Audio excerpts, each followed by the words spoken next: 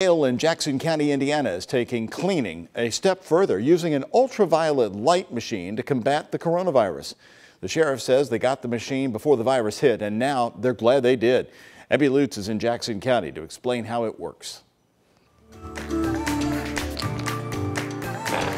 So far, there have been no confirmed cases of the coronavirus inside the Jackson County Jail, and the sheriff here credits a large portion of that to this machine. We roll the machine to the area that we wanted to treat.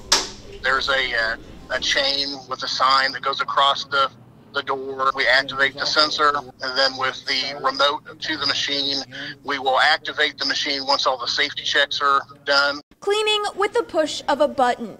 This machine uses ultraviolet light to work against bacteria, fungus, or viruses like COVID 19, disinfecting a room at a time. I can put the machine in a room, say in a cell, and while it's cleaning the cell, I can uh, go on about my daily duties. That's because it's controlled by this remote, which will let Jail Commander Chris Everhart know when the room has been disinfected.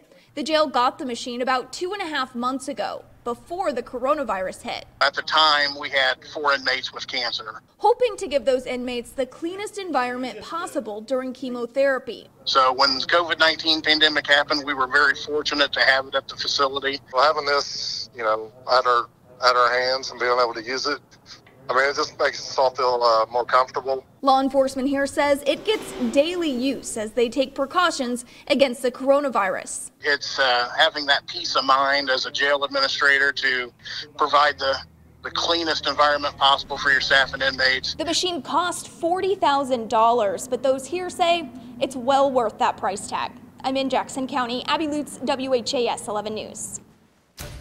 And now to the story breaking just